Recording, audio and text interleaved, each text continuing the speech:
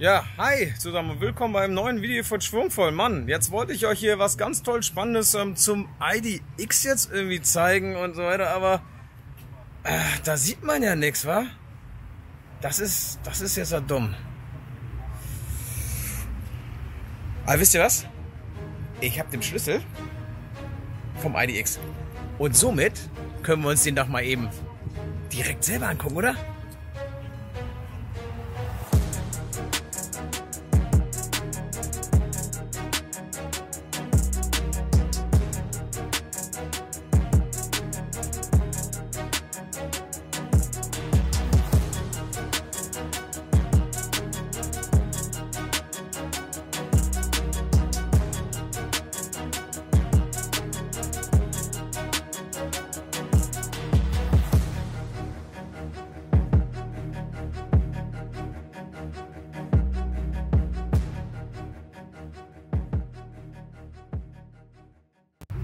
Also, das ist er. Der IDX. Der IDX ist ein umgebauter ID3. Der einzige derzeitig aktuell mit Allradantrieb und zwei Motoren. Systemleistung 245 kW, was ungefähr 335 PS sind. Die Jungs haben aber im Prüfstand auch schon mal 345 PS erreicht. Ja, ansonsten, was gibt's zu erzählen von dem Fahrzeug? Lass uns einfach mal drauf gucken, würde ich sagen, oder? Also, erstmal fällt natürlich die matte Lackierung auf. Mit Neonflakes drin. Also das ist irgendein Staub oder so, was ihr seht. Das sind Neonflakes.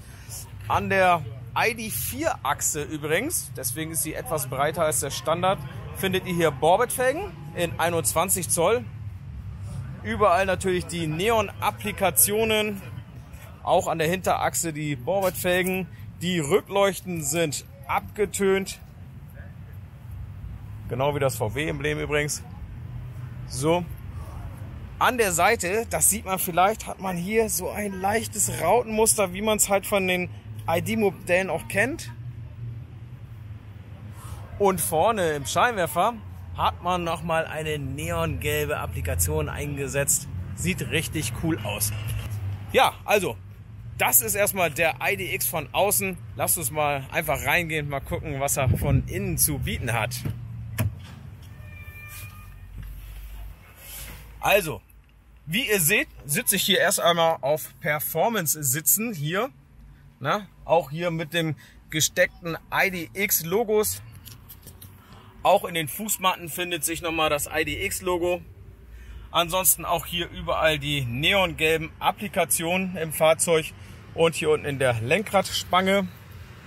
Klimaanlage machen wir mal eben aus. So. Ansonsten ist hier recht viel von der Serie übernommen worden. Wir haben hier in der Tür noch ähm, Alcantara drin. Da haben sie sich nochmal schön Alcantara aus dem Regal genommen. Und haben natürlich auch hier das Neongelb mit übernommen. Die Basis für das Fahrzeug hier ist tatsächlich auch der 82 Kilowattstunden Akku aktuell, also 77 Kilowattstunden netto. Und Systemleistung habe ich eben schon gesagt, damit beschleunigt er von 0 auf 100 in 5,3 Sekunden. Um das mal eben einzuordnen, der VW Golf Club Sport braucht etwa 5,6 Sekunden. Also der ID3 oder IDX, wie er richtig heißt, hat hier tatsächlich noch mal ein bisschen mehr Dampf als der GTI Club Sport und das kann sich schon mal sehen lassen. Alles in diesem Fahrzeug ist natürlich weit weg vom Stand der Serientechnik. Ähm, das liegt einfach daran, dass auch Eingriffe im Rohbau erfolgt sind und ich habe es eben schon erwähnt, zum Beispiel auch ID4 ähm, Achskomponenten verbaut wurden. Das heißt, so wie das Fahrzeug hier natürlich steht, wird es definitiv nicht auf den Markt kommen.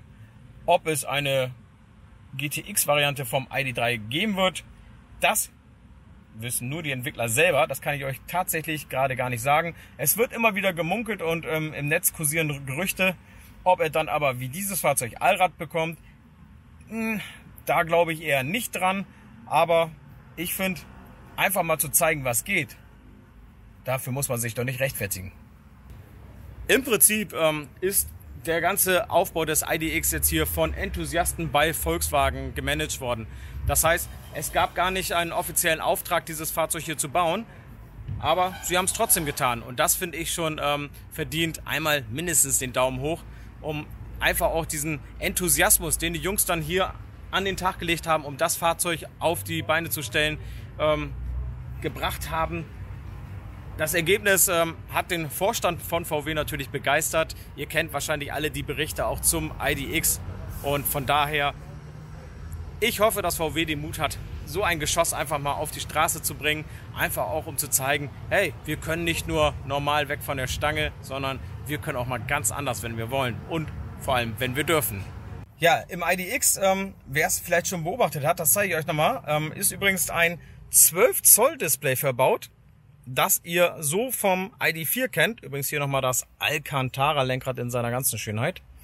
Und da kann ich euch mal einen heißen Tipp geben. Wenn ihr irgendwie an so ein Display kommt, dann ist es tatsächlich möglich, per Plug and Play so ein Display in ID3 zu verbauen. Da müsst ihr gar nichts großartig umbauen.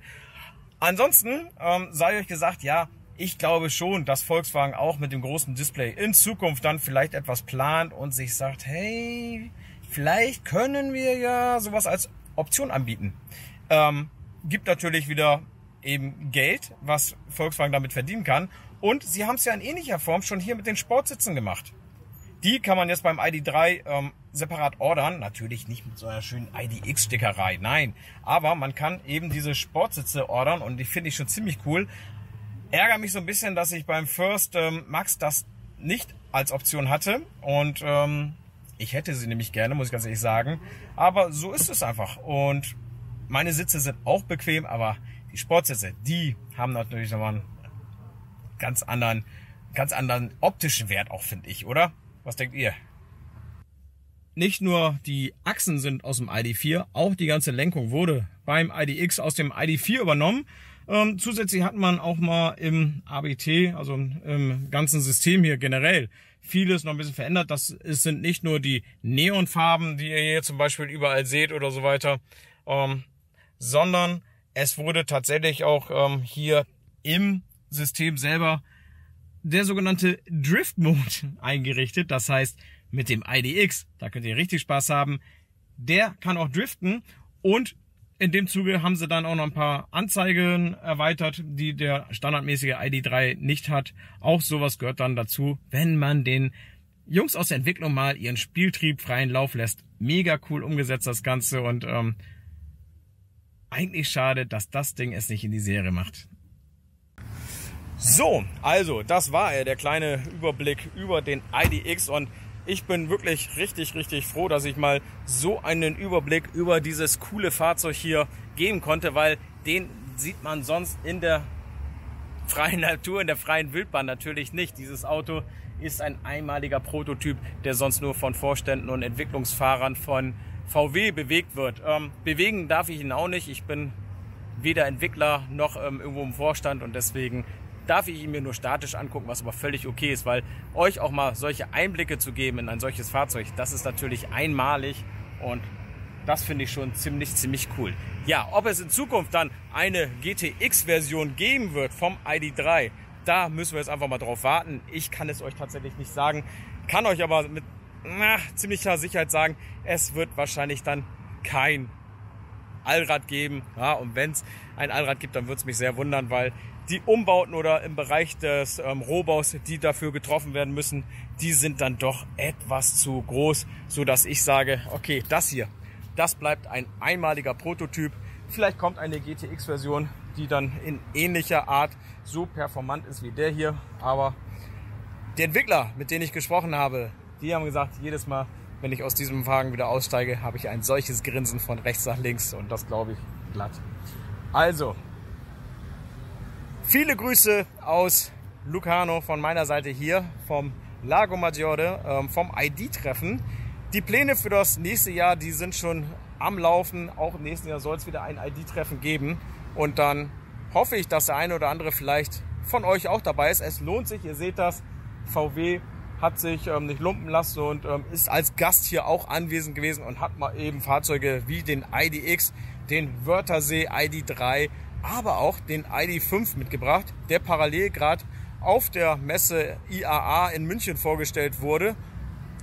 In der gleichen Form, wie er hier steht. nur in München. Da kommt ihr sicherlich nicht so nah dran wie wir hier direkt in der Schweiz. Soll es schon gewesen sein. Ich bedanke mich fürs Zusehen und hoffe, dass euch dieser kleine Einblick in den ID X so gut gefallen hat, wie das Fahrzeug mir gefällt.